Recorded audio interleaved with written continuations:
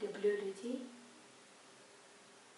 которые заставляют меня смеяться тогда, когда я даже не хочу улыбаться.